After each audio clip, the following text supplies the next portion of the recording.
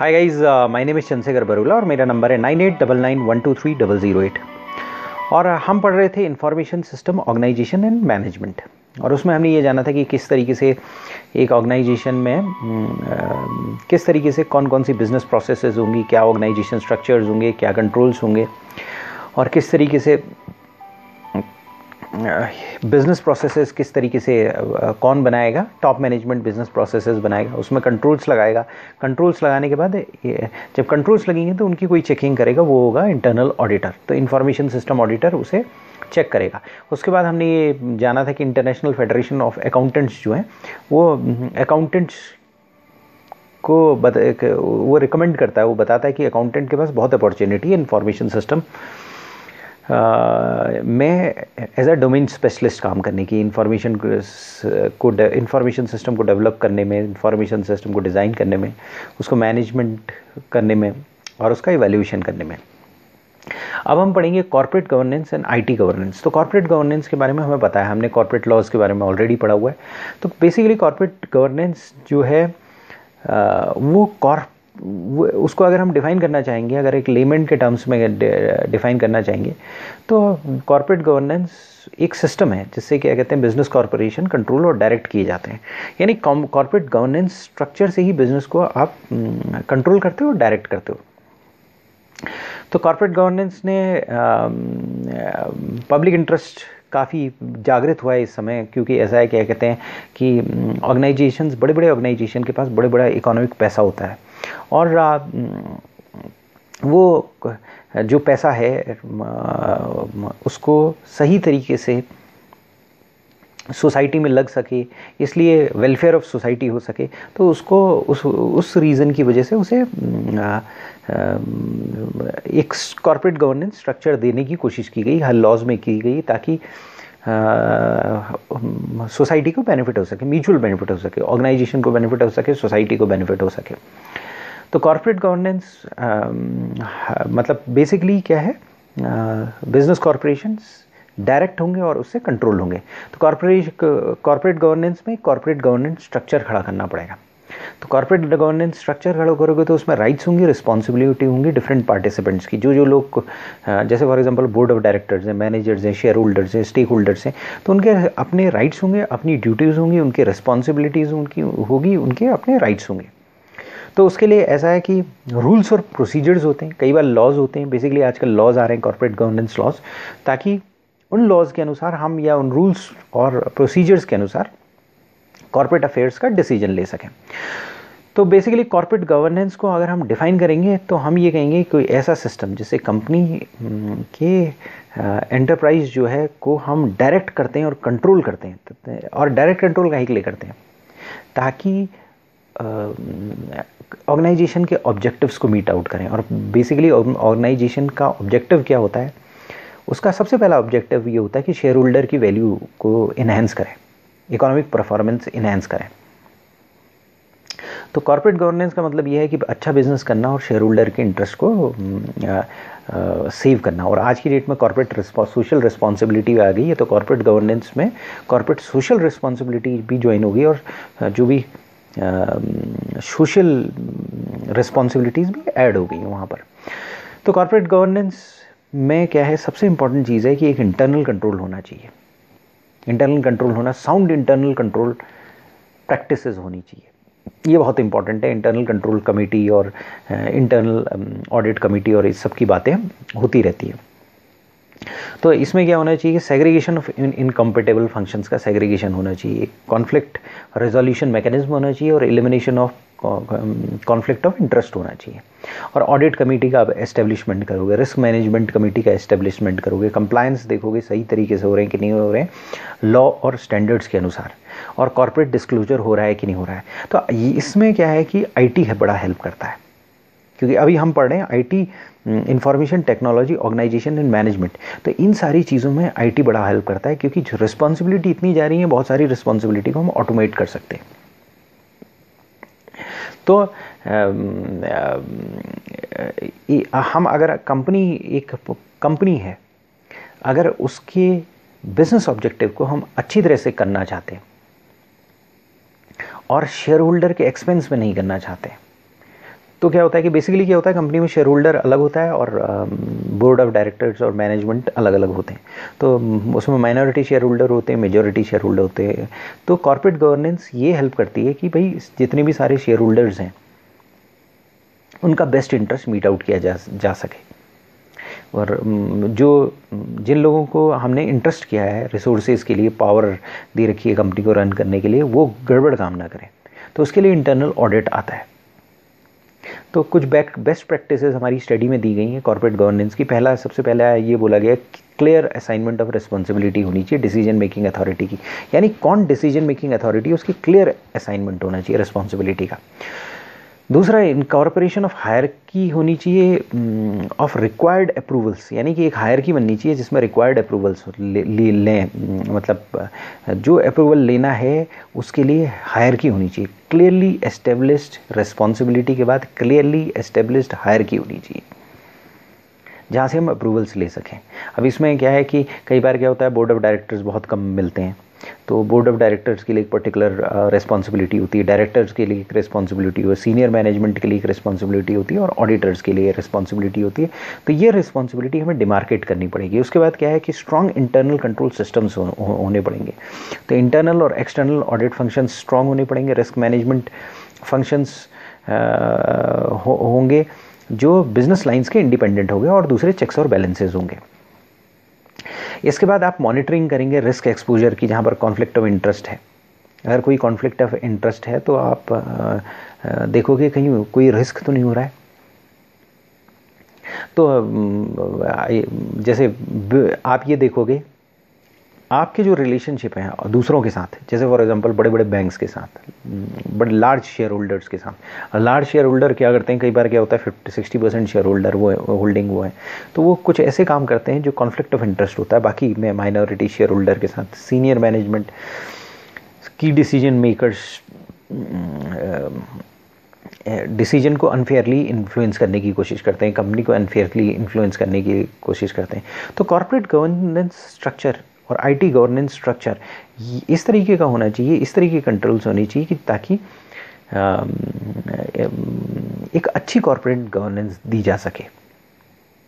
उसमें फाइनेंशियल या managerial incentives हो सकते हैं। अगर मान लीजिए सपोज़ सीनियर मैनेजमेंट सही तरीके से काम कर रहा है बिज़नेस लाइन मैनेजमेंट सही तरीके से काम कर रहा है तो कंपेंसेशन दिया जा सकता है प्रमोशन दिया जा सकता है, दूसरी रिकोगनीशंस दी जा सकती हैं।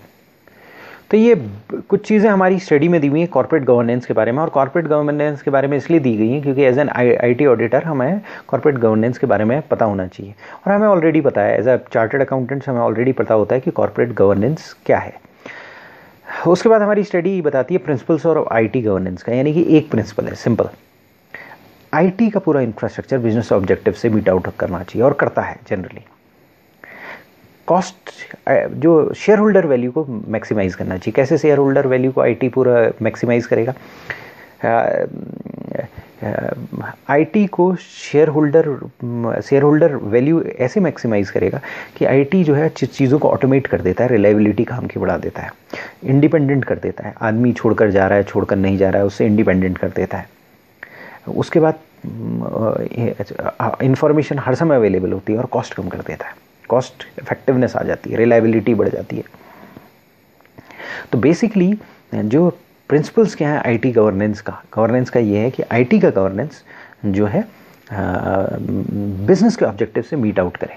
तो यानी कि आप किसी ऑर्गेनाइजेशन में जाओगे तो कई बार कई चीज़ें आपको समझानी पड़ती हैं। कई बार आपको उनके सामने कहना पड़ता है। तो कई बार आप देखते हो कि कोई आईटी का इक्विपमेंट लिया, लेकिन बिज़नेस ऑब्जेक्टिव को मीट आउट नहीं कर रहा है और आपको पॉइंट उठाना है तो वो उल्टे सीधे आपको आंसर्स देने लगते हैं जस्टिफिकेशंस देने लगते हैं। तो आपके पास की प्रिंसिपल्स होनी चाहिए।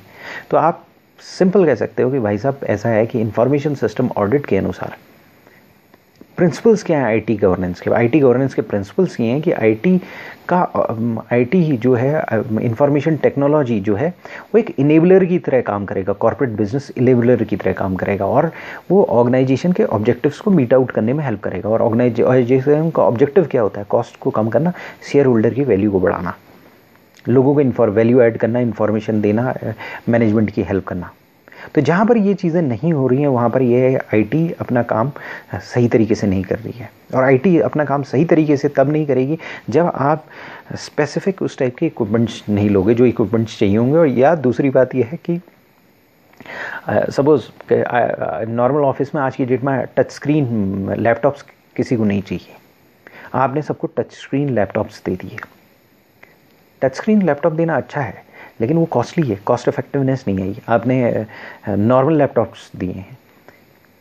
वेल एंड गुड अगर कई जगह पर क्या होता है सेल्स वालों को आपने लैपटॉप ही नहीं दिए तो फिर वो दैट इज़ अ प्रॉब्लम तो कहने का मतलब ये इन्फॉर्मेशन टेक्नोलॉजी एक इनेबलर की तरह काम करेगी कॉरपोरेट बिज़नेस स्ट्रेटेजी की तरह के, के लिए।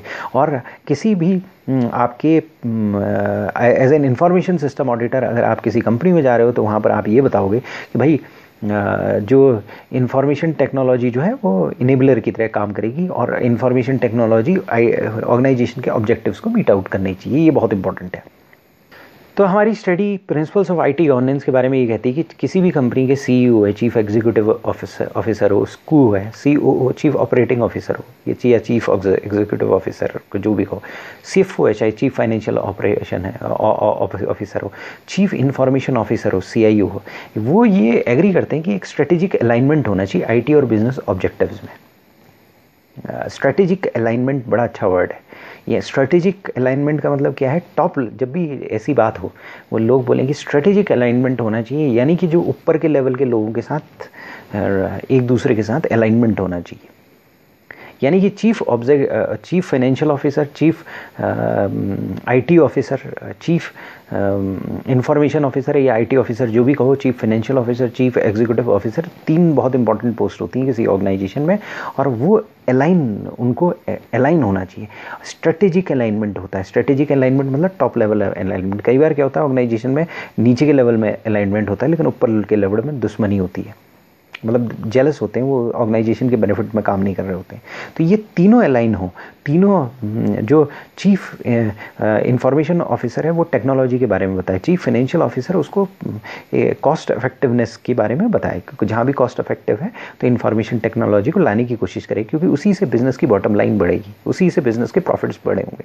तो हम्म, हमारी स्टडी बोलती है एक चीज़ होता है critical success factor critical success factor का मतलब ये होता है कि बिज़नेस के ऑब्जेक्टिव्स हम मीट आउट कर रहे हैं। और critical success critical success factor तभी मीट आउट किया जा सकता है जब chief executive officer chief financial officer और चीफ इंफॉर्मेशन ऑफिसर एक पेज में हो और उनके बीच में स्ट्रेटेजिक अलाइनमेंट हो। एक पेज में हो, कहने के बजाय आप ये कह सकते हो स्ट्रेटेजिक अलाइनमेंट है। बड़ा ब्यूटीफुल वर्ड्स है हमारी स्टडी में। तो उसको अगर आप पढ़ोगे तो थोड़ा सा कई चीज़ें समझ में नहीं आएँगी। लेकिन जैसे जैसे सेशंस जैसे जैसे आप लेक्चर सेशंस की तरफ़ गुजरोगे तो कुछ कुछ वर्ड्स होंगे, वो आपको धीरे धीरे समझ में आने लगेंगे। तो चीफ इन के बीच में स्ट्रेटेजिक अलाइनमेंट होना बहुत ज़रूरी है। तो आईटी के बीच में और बिज़नेस ऑब्जेक्टिव के बीच में अलाइनमेंट होगा तो क्रिटिकल सक्सेस फैक्टर मिलेगी बिज़नेस ऑब्जेक्टिव के अटेनमेंट के लिए, यानी बिज़नेस ऑब्जेक्टिव आपके अचीव किए जाएँगे। तो कॉरपोरेट गवर्नेंस जो है वो सबसे ऊपर है। हमारी स्टडी कहती है कॉरपोरेट गवर्नेंस ही ड्राइव करेगी। अगर कॉरपोरेट गवर्नेंस होगी तो एक कॉरपोरेट स्ट्रक्चर होगा और रूल्स होंगे, वही ड्राइव करेगी कॉरपोरेट इंफॉर्मेशन नीड्स को, कि वो बिज़नेस के ऑब्जेक्टिव्स को मीट आउट कर सके। तो आईटी को क्या करना पड़ेगा? एक इंफ्रास्ट्रक्चर प्रोवाइड करना पड़ेगा ताकि क्रिटिकल इनपुट्स उसमें डाले जा सकें और फिर उससे आउटपुट निकलें, कौन से आउटपुट प्रोसेस्ड आउटपुट निकलें जो इन्फॉर्मेशन की नीड को मीट आउट कर सकें और हायर लेवल ऑफ़ मैनेजमेंट को इन्फॉर्मेशन की नीड हमेशा रहे। इंफॉर्मेशन की इंफॉर्मेशन की अवेलेबिलिटी हमेशा रहे। दूसरे वर्ड में कहा जाए तो कॉरपोरेट एक्टिविटी को ये ज़रूरी है कि इंफॉर्मेशन मिले आईटी एक्टिविटीज़ में, ताकि बिज़नेस ऑब्जेक्टिव्स मीट आउट हो सके। कॉन्सिक्वेंटली कॉरपोरेट गवर्नेंस जो है वो आईटी गवर्नेंस को ड्राइव करती है। कहने का मतलब ये है, आपके पास सही कॉरपोरेट गवर्नेंस अगर सही स्ट्रक्चर है तो आपके पास सही रूल्स हैं। तो आपका स्ट्रेटेजिक अलाइनमेंट होगा और स्ट्रेटेजिक अलाइनमेंट होगा तो आपके बिज़नेस के ऑब्जेक्टिव्स मीट आउट होने शुरू हो जाएँगे। अगर सही अलाइनमेंट होगा तो आपके ऑडिटर्स वगैरह होंगे, वो गलतियाँ पिन पॉइंट करेंगे। और वो क्या है आईटी गवर्नेंस को कॉरपोरेट गवर्नेंस को आईटी गवर्नेंस को मीट आउट एक दूसरे के साथ मीट आउट करने लगेंगे, जिससे कि अल्टीमेट ऑब्जेक्टिव जो हमारा है, वो ये है कि शेयर होल्डर की वैल्यू बढ़ना, और corporate governance objective meet out करना, उसमें हमें हेल्प मिलेगी।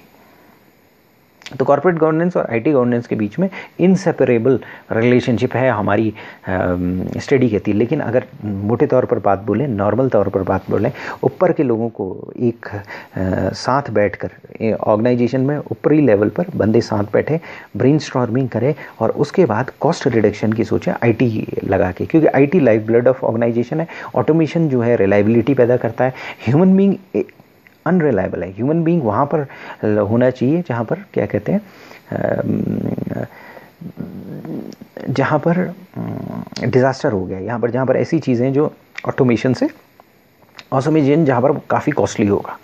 वहाँ पर ह्यूमन बींग आप रख लो।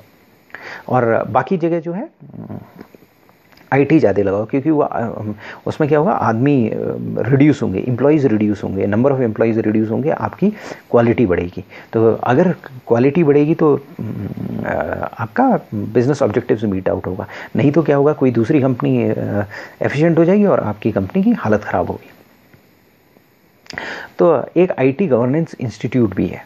आईटी गवर्नेंस इंस्टीट्यूट जो है, वो हाईलाइट करता है इम्पोर्टेंस आईटी की आईटी गवर्नेंस की और अब भिन्न भिन्न इंटरप्राइज किस तरह से गवर्न होंगे आईटी के साथ कैसे गवर्न होंगे, ताकि कॉरपोरेट एम्स मीट आउट किए जा सकें। इसके बाद हमारी स्टडी ने प्रिंसिपल्स ऑफ़ आईटी गवर्नेंस के बारे में हमने पढ़ लिया। इसके बाद हमारी स्टडी में आईटी गवर्नेंस के बारे में हल्का सा बताया। उन्होंने कहा आईटी गवर्नेंस जो है planning organising acquiring implementing delivering supporting monitoring इन सब एक्टिविटीज़ को इंटीग्रेट करने की कोशिश करती है। मतलब आप प्लान कर रहे हो, आप एक प्लानिंग बना दो। और उसी प्लान के अनुसार आप ऑर्गेनाइज करोगे चीज़ों को, वो प्लान एक स्ट्रक्चर की तरह काम करेगा। और उसके बाद क्या है, कोई चीज़ एक्वायर करना है तो उसी प्लान के अंतर्गत वो अप्लाई होगी। कोई चीज़ इंप्लीमेंट कर रहे हो, उसी प्लान के अंतर्गत इंप्लीमेंट होगी। अगर डेविएशन है तो हाईलाइट हो जाएँगे। कोई सपोर्ट देना है डिलीवर कोई चीज़ करना है मॉनिटर करना है तो वो सब चीज़ें आईटी इंफ्रास्ट्रक्चर आपको हेल्प कर सकता है। आईटी गवर्नेंस जो है, इस तरीके से बेनिफिट्स मैक्सिमाइज कर देता है। और कई बार क्या होता है कि आप अपॉर्चुनिटीज़ को